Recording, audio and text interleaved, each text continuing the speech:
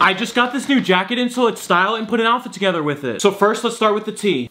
So for the tee, we're gonna be going with this Shaka Wear Heavyweight All White Tee. I mean, you can never go wrong with an all white tee. Next, let's pick out the pants.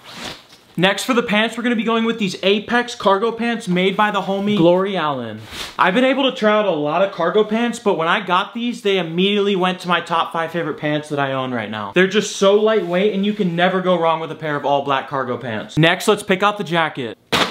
So here we've got the Way of Wade Love and Passion varsity jacket, and this thing is crazy. From the lightning bolt design on the right chest, to the Love and Passion Make Your Own Way patch on the left chest, and the entire embroidered design on the back of this jacket, this thing is sick. I mean, you can never go wrong with a perfectly fitted varsity jacket. And to finish out this entire outfit, we can't forget the shoes. Gotta keep it simple and clean with the Jordan 4 Military Blacks.